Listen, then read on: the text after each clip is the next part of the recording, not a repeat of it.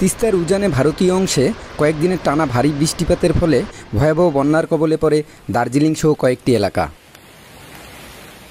ভারতের বন্যা পরিস্থিতি পর্যবেক্ষণের মাধ্যমে আগাম সতর্কবার্তা দেওয়ার কথা ছিল পানি উন্নয়ন বোর্ডের।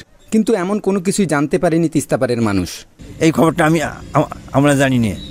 সামান্য একটু হয়তো পানি আসবে কার্তিক মাসের ব্যাপার। এরকম পানি আসতেছে। তাহলে আমরা আগাম ছাড়াইতাম। এরকম সংখ্যা তো আমরা আগাম পাইনি। ফলে আকস্মিক বন্যায় ভেসে গেছে শত শত বাড়িঘর ডুবে গেছে হাজার হাজার হেক্টর ফসলি জমি ভেঙে গেছে রাস্তাঘাট বিদ্যুতের খুঁটি। সকালে উঠে দেখি শুকনা জায়গা আর কিছুক্ষণ পর দেখি আস্তে আস্তে পানি আস্তে আস্তে আর কিছুক্ষণ পর দেখতেছি একটা সম্পূর্ণ মানে ভাঙচুর হয়ে গেছে। গরু ছাগল হাঁস মুরগি সবগুলো তো ভাসি গেছে। এতে মানবতর জীবনযাপন করতে হচ্ছে এই অঞ্চলের মানুষের।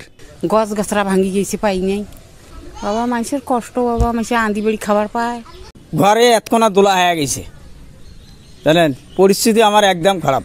আগাম সতর্কবার্তা না থাকার বিষয়টি স্বীকার করে সংশ্লিষ্ট দপ্তরের প্রতিমন্ত্রী বলছেন এবারের অভিজ্ঞতাকে কাজে লাগিয়ে আগামীতে প্রস্তুতি নেয়ার কথা।